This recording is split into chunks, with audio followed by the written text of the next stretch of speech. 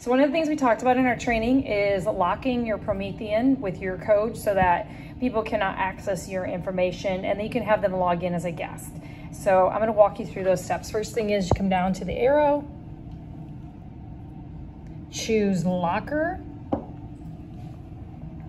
and then on the left, you're gonna choose the cogwheel, and then more settings.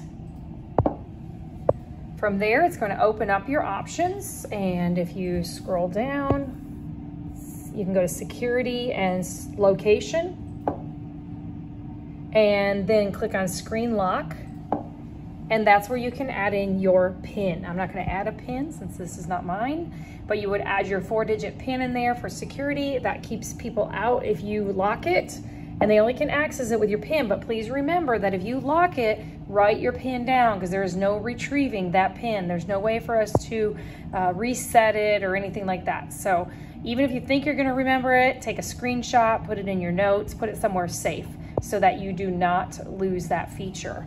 And then you also have lock screen uh, preferences. And so there's uh, some options in there. You can put a little note if you want, but there's some just different choices in here if you want within that area.